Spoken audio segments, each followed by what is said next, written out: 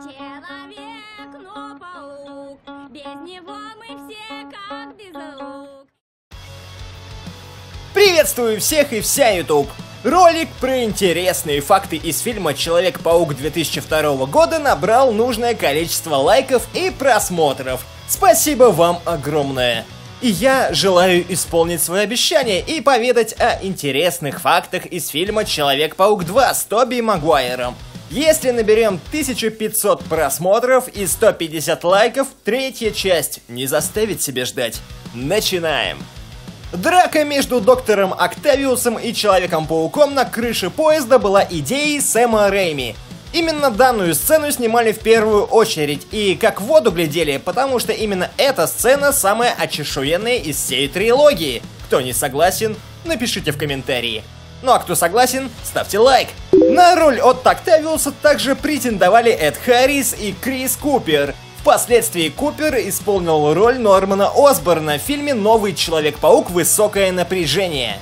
В комиксах сын Джеймсона Джон позднее становится Человеком-волком. Изначально была идея сделать из него Венома в третьей части. В комиксах именно Джеймсон привез инопланетного симбиота на Землю, да и в мульте 90-х так было, но позже от идеи отказались. А было бы интересно на это посмотреть.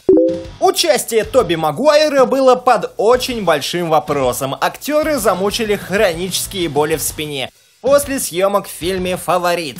Роль Человека-паука почти получил Джейк Джилленхол, кстати, парень Кирстен Данст в то время. Но Тоби нашел в себе силы принять участие в съемках. Кстати, за эту роль он получил самый большой в своей жизни чек на то время. Сумма действительно внушительная – 17 миллионов зеленых. Дэнни Эльфман, написавший музыку к фильму, серьезно поругался с режиссером. После завершения съемок он заявил, что больше никогда не будет работать с Сэмом Рэйми.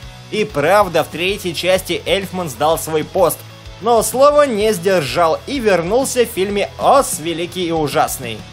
Альфред Молина, исполнивший роль доктора Октавиуса, дал имена четырем щупальцам Ларри, Гарри, Фло и Мо. Но зачем это?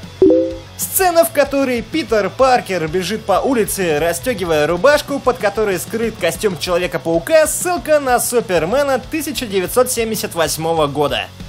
Каратель появляется в камео в сцене, где Мэри Джейн бежит через улицу в свадебном платье в концовке фильма. Карателя сыграл Том МакКомас, дублер Томаса Джейна из фильма «Каратель» 2004 года. Для фильма рассматривались следующие названия «Человека-паука больше нет», «Человек-паук живой» и «Человек-паук. Разоблачение». В первом заявлении о подготовке к съемках сиквела упоминалось название «Удивительный Человек-паук».